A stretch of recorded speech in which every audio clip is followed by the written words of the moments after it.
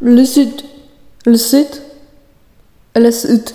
Nie wiem jak to przeczytać, poprawcie mnie, bo no nie mam pojęcia. No i wydaje mi się, że mogę śmiało powiedzieć, że robi content komentary. Tylko, że no właśnie, sami zobaczcie.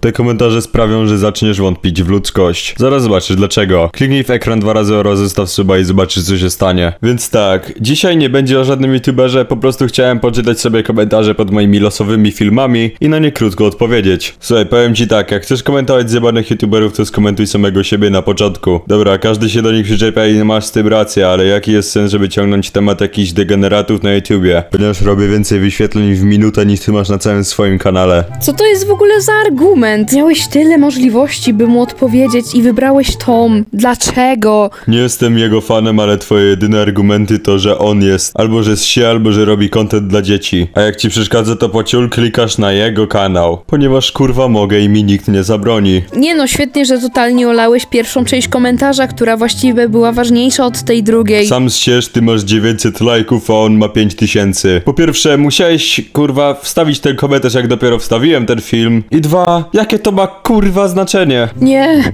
nie, dlaczego? Dlaczego ty sobie zaprzeczasz w jednym filmiku? T- Tak się da? Ja już robię więcej wyświetleń w minutę niż ty masz na całym swoim kanale. A jakie to ma kurwa znaczenie? No nie wiem, sam mi powiedz, jak najpierw użyłeś tego argumentu. Teraz obejrzymy sobie ten filmik o Vito. Sorry, że tak trochę niechronologicznie, ale szczerze mówiąc, ten pierwszy film najbardziej mnie oburzył. Ten youtuber się.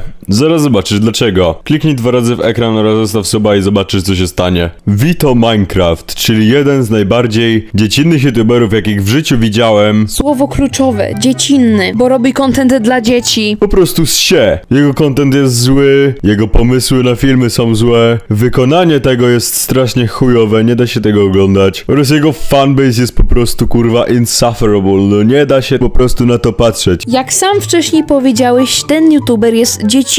A, a wiesz dlaczego? Uwaga, uwaga. Bo robi content dla dzieci. Także gratki stary, uczepiłeś się kogoś, kto dosłownie robi content dla pięciolatków. Śmieje się on również z Freeza i ekipy ze skończenia się, podczas kiedy jego kanał spadł kurwa z milionów wyświetleń na film, na łeb na szyję. Podsumowując, no ten youtuber po prostu się. No w sumie tylko tyle chciałem powiedzieć. Także podsumujmy sobie ten filmik. Masz problem, bo nie spodobał ci się content człowieka, który robi filmiki dla dzieci od 2 do 10 lat. Jakby te filmiki nie są nawet kierowane do twojego przedziału wiekowego, bo zakładam, że masz powyżej 15.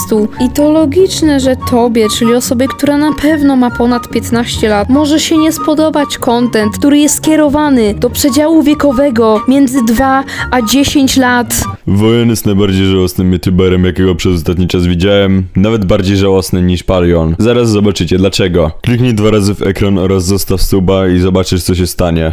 Tak jak Palion miał po prostu podpierdolone miniaturki z zagranicy oraz po prostu był, no kurwa, to był taki cringe, że ja pierdolę po prostu. To Palion przynajmniej, z tego przynajmniej co mi się wydaje, nie katował tej pięknej gry nazwanej Minecraft. Przy czym Wojan próbuje zrujnować tą grę dla każdego. To jest swoim kurwa żałosnym contentem po prostu, no i naprawdę nie mogę na to patrzeć, ja pierdolę. Po prostu zostaw tą grę, graj sobie tak jak Palion w jakieś kurwa losowe gry, które nikogo nie obchodzą, ale zostaw kurwa te gry, które są fajne, naprawdę, proszę cię. Przynajmniej tylko tyle chciałem powiedzieć. Jak możemy zauważyć, autor przedstawił tu naprawdę bardzo wysoki poziom. Pokazuje nam on również, jak bardzo bogate zasoby słów posiada. A tak przechodząc bardziej do tego, co mówisz, znowu masz problem do kanału typowo family friendly i dla dzieci, bo nagrywa content kierowany do dzieci i według ciebie tym sposobem krzywdzi grę zwaną Minecraft. Tylko wiesz, idąc twoim tokiem myślenia, ty też ją krzywdzisz, bo przekleństwo jako przecinek to u ciebie norma i ty jeszcze masz czelność komuś zarzucać, że ma słaby content. Tylko wiesz, może przestań sobie zaprzeczać, znajdź jakieś lepsze argumenty,